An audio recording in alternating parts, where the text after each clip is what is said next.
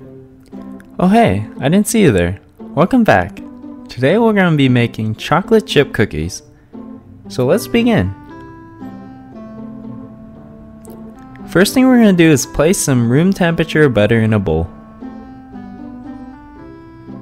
Now we're going to add in some brown sugar. And then we're going to add in some white sugar.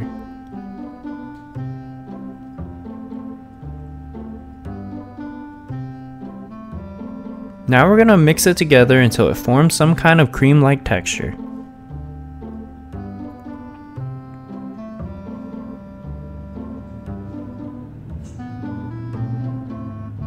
Now it should look something like this so far. Now we're going to throw in some vanilla extract.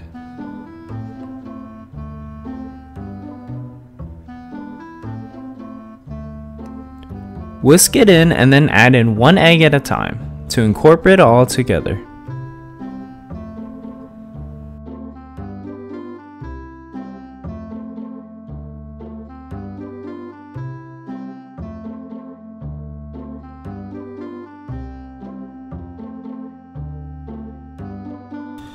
Set it aside and use another bowl.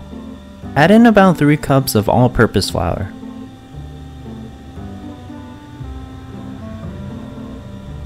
Once you're done with that, add some baking soda. And then we're going to add a small amount of salt. Mix it all together to prevent clumping.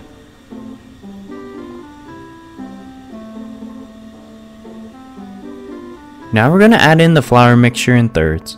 We don't want to add it all in at once, or it'll be even harder to mix.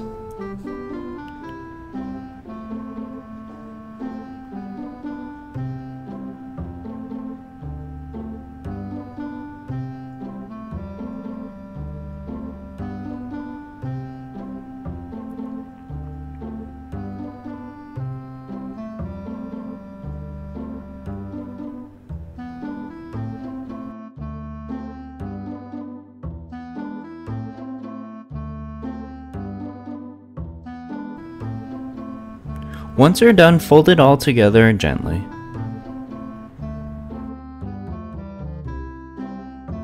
Add in the semi-sweet chocolate and the walnuts and mix it all together gently.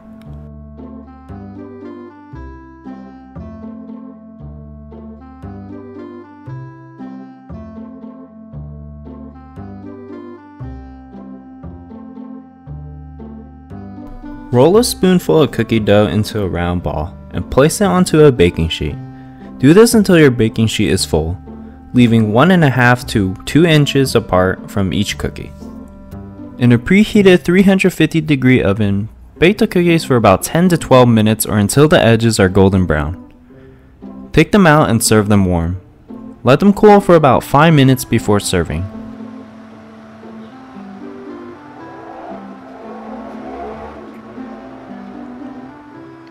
These cookies were delicious. You can really taste the chocolate chips in every bite. And you also get that nice nutty flavor from the walnuts. You can substitute the walnuts with any kind of nuts if you prefer, or opt them out entirely. But man, does it make all the difference. And let's not forget the cookie itself. Nice crispy edges, and a soft texture on the inside. There you have it guys. Make sure you subscribe if you haven't. Hit that like button if you enjoyed the video. And check out my social medias if you haven't already. And until next time, I'm dishing out.